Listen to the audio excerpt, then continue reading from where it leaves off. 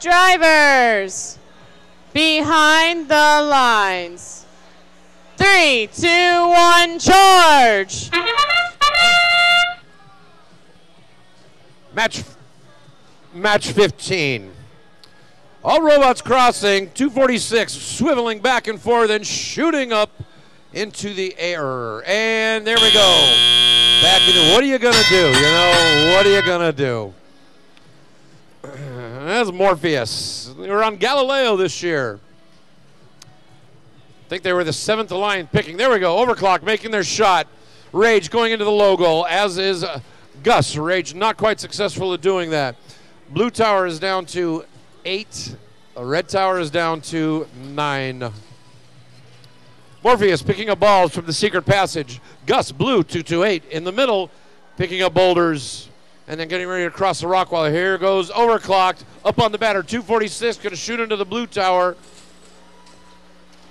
And it bounces just out. Gus 228 going to deposit a boulder in the low goal for the red tower, reducing its strength. And there we go. Windham wind up, shooting into the blue tower. Blue Tower is down to a strength of five. It might be able to be captured if they can get it down to a strength of zero. The defenses are being breached as the lights go out. If four of the five defenses' lights go out completely, they will get a ranking point. Morpheus waiting for a boulder coming through the secret passage. They have to be very careful here. Picking it up. Shot into the upper goal by the Windham windup. Blue Tower is down to a strength of three. Red Tower. They've got some boulders sitting in the courtyard, but they're not been able to get them in. And a shot by Morpheus.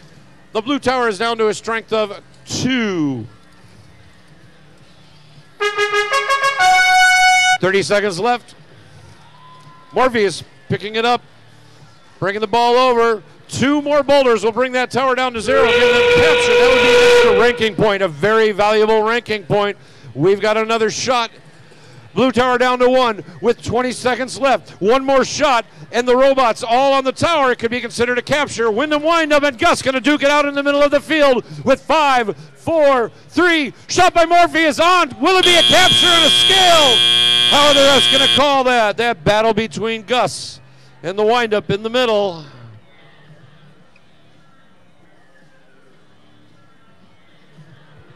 Not just one thumbs down, but two thumbs down.